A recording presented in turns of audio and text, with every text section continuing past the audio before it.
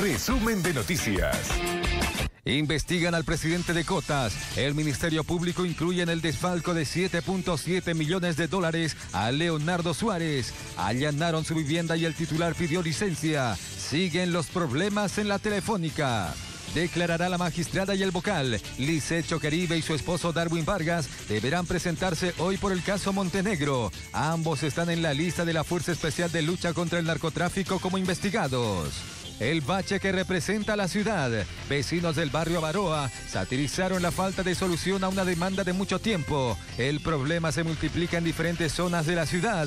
La alcaldía tiene la palabra.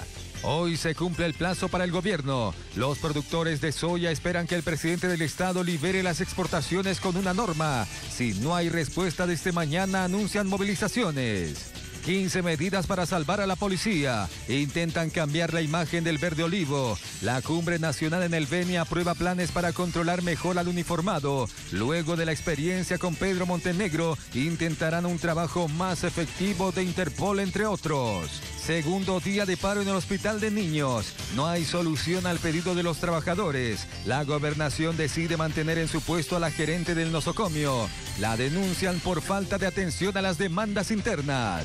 Rige el calendario electoral para octubre. Este viernes empieza el empadronamiento en Bolivia y 34 países. El 12 de junio largan la campaña electoral y hay polémica porque el presidente y vicepresidente del Estado no renunciarán a sus cargos para postularse. En deportes, tarde de final de la UEFA Champions. A las 3 de la tarde se enfrentarán el Chelsea de Hazard y el Arsenal de Mesut Özil. El partido es considerado como una previa de la Liga de Campeones que se disputará el sábado.